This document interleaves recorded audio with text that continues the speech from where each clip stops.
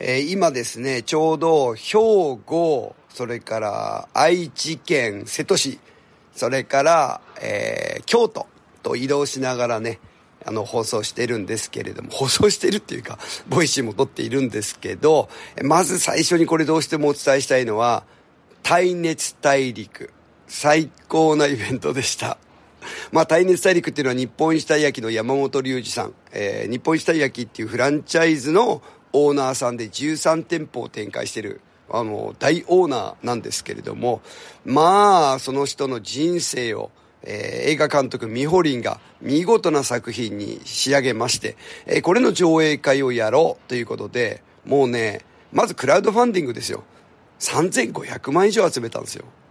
あります？一般の方が。芸能人でもないしね。フォロワー数が何十万何百万のインフルエンサーでもない方がですよ。3500万以上集めるってどういうことかっていうと改めて言語化するとこれまでに出会った人に対して与えてきたプレゼントの量これが支援金額となって返ってきてる。もう証明ですよね。山本隆二さんという人の生き方の証明。それがまあ金額という形で現れた。でもね僕思うんですよ。お金金額で現れるってこれね正直じゃない？ここごまかし聞かなくないですか？なんかごまかしでお金って集められます？そんなんできるなら誰だってクラウドファンディングね、ちょちょいのちょいで集められるってことでしょうそうはいかないですよね。やっぱりこれまでの生き方が全部そこの金額に現れると思います。で、これ兵庫県のね、ものすごい繁華街、飲み屋街の中の月世界っていう、あれ東京で言うと、あの、よく西野さんが使ってるキネマクラブに似てますね。なんか兵庫のキネマクラブみたいな感じなんですけども、そこで200名近い方が全国から集まって、別に兵庫県の人が集まってるわけでも、大阪の人が集まってるわけでもなくて、全国からもう遠くは沖縄の人とか東北の人も集まってるんですよ。そしてですね、入ってから会場まで、ステージまでね、ぎゅうぎゅう詰めのお祝いの花。月世界ってものすごい歴史の古いね、劇場なんですけれども、そこのスタッフさんが、そのずらーっと並んだお花を見て何て言ったか。これは、ジャッキー・チェンさん来日以来のお花の量ですと。ジャッキー・チェンさんが使った場所なんですけどね、打ち上げかなんかで。それ以来の花の量を見ましたというふうにおっしゃっていました。すごくないですか？これ全部その人が生きてきたことの証明書だと思います。いやもうそもそも冷静に考えたら耐熱大陸ってなんだよって話じゃないですか。たい焼き屋さんの社長さんの映画なんです。もちろんね、見た方はわかりますよ。素晴らしい映画でした。もうしっかりと、なん逆に言うと、なんかちょっとあの、小難しい映画とかってたまにあるけど、あんなの見るよりも、全然リアリティしかない映画なので、超ドキュメンタリーなわけですからね。しかも、たい焼き屋さんのドキュメンタリーだから、誰でもわかるじゃないですか。もうそれこそ山本龍二さんが生まれてからお父さんお母さんにどんな風に育てられたかから始まり、学生時代どんな風に過ごしたかもあり、学生時代の親友からどんな人だったかも客観的なインタビューもあり、そしてなぜ日本一たい焼きっていうビジネスに関わるようになったかっていう出会いもあり、そこから3店舗までやって大きな挫折を味わったっていう挫折経験もあり、どうやって乗り越えたかもあり、そして今、13店舗か、13店舗のオーナーになり、どんなスタッフさんとどんな関わり合いを持ってるか、そして最後には家族のインタビューですよ。もうこれね、ごまかし聞かなくないですか？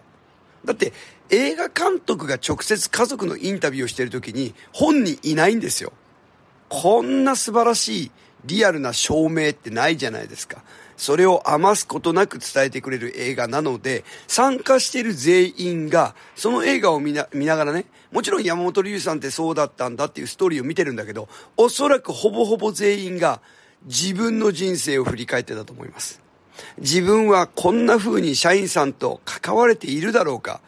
自分は家族とこんな風に関われているだろうか自分は今、全力で挑戦して生きてる実感味わっているんだろうかそんな風に自分ごととして見れる映画だったんですよ。だけどね、これ会場に来たらわかるよ。映画を見たらわかるよ。でもさ、それ見る前どうよ。たい焼き屋さんの社長の人生知りたいなって日常思ったことありますか？ないですよね。じゃあなんで人がそんなに集まったか。それは山本龍二さんの生き様が帰ってきたからです。もうね、この Voicy でも繰り返し言ってることですけど、まあ僕はね、あの、昨日の放送でも、僕は大事なのは知っていることよりも、使える状態になってることなんかもう本当に大事だと思ってるので、大事なことは繰り返し繰り返し繰り返し繰り返し繰り返し伝えようと思ってるんです。ブーメランの法則。これ聞いたことある方多いと思うんですけど、まさにそう。自分が投げたものが自分の元に返ってくる。例えば、人の悪口ばっかり言ってる人は、ちゃんと言われてる。なんなら人の誹謗中傷してる人は、きっとあいつも俺のことをそんな風に思ってるはずだって自分自身が思ってしまう。そして山本龍二さんの生き方はその正反対。誰のこともまずは受け止める。誰に会っても常に笑顔。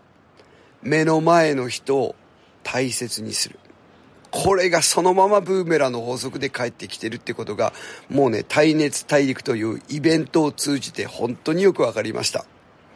えー、そして最後に、その耐熱大陸に集まってくれた全国から集まった人たちの、こう、なんだろうな、あったかさ。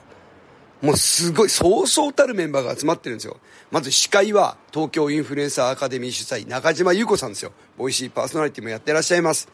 えー、そして、まあ、スポンサード、スポンサーね、大きな金額を入れてる人たち、細野隆さんとか、あとファイナンシャルプランナー森次先生とか、それから介護業界の革命家は高橋マチャピロさんとか、あとはもうロックこと橋本和豊さん、コピー版歴30年ですよ。あとはまあうちの顧問税理士もやってくれてる川野さんとか、えそしてもう奇跡の歯科医院の委員長原先生とか、それから大分県からね、他社貢献高橋隆弘さんとか、そのな、まあ、佐野翔平さんとかお友達のね、みんな来てましたよ。沖縄からは渡名喜修さんですよ。どうですか？この Voicy でも耳馴染みのある方じゃないですか。 Voicy パーソナリティやってらっしゃる方もこの中にいっぱい含まれてます。まあもちろんまだいっぱいいますよ。俺の名前言ってくんないのかなと思った人いっぱいいると思う。最強事務局とかもいっぱいみんな来てますよ。もうボラスタのなメンバーなんて本当に僕の講演会とかイベントいつもやってくれてる人いっぱい来てました。で、僕思ったんですよ。自分がどんな生き方をしているかで、どんなコミュニティに所属できるかは決まるって。で、これもちょっとね、あんまりいい例じゃないけど、僕のコミュニティに前はいたけど、いられなくなった人もいるんですよ。それはやっぱりその人がそういう生き方をしているからです。まあ、例えば誰かのことをね、なんかこう責めたりとか、誹謗中傷を言ったりとか、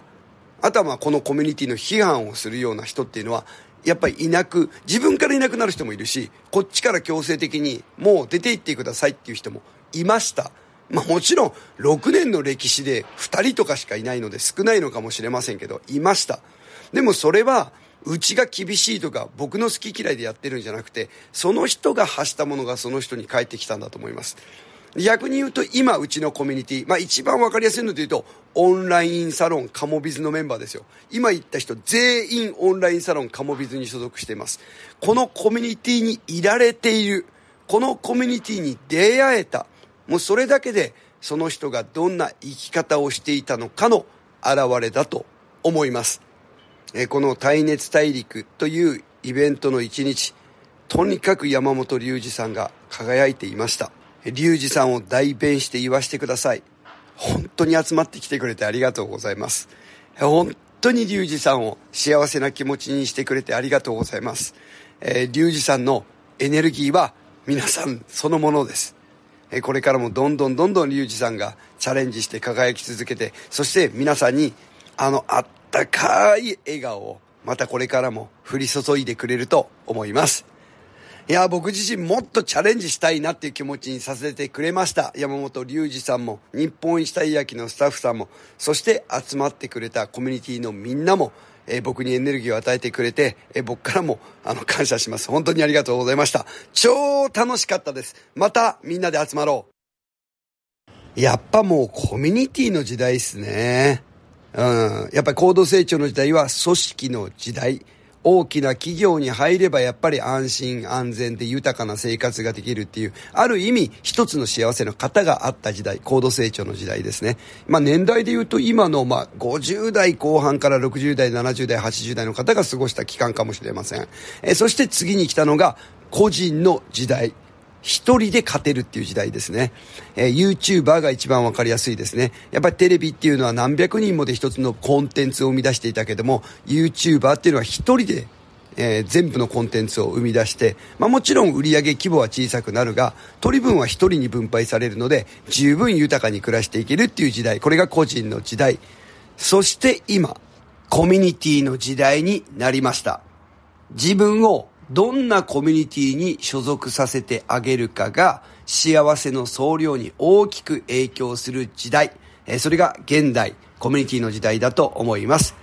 僕が作っているコミュニティは何と言ってもオンラインサロンカモビズです。オンラインサロンカモビズでは毎日、まあ、月曜日から土曜日までかな、毎日日刊鴨頭タイムズっていうビジネスに関する記事を読んで、思考力を身につけることができます。そして週に1回日曜日にビジネス知恵の輪といって僕からお題が出されて、それについて一人一人が考えていて、まあ、自分の腕試しをするっていうのが週に1回あり、そして月に1回直接鴨頭義人にビジネスのコンサルティングを受けられる。そんな仕組みで月額たったの1万円ということでものすごい人気です。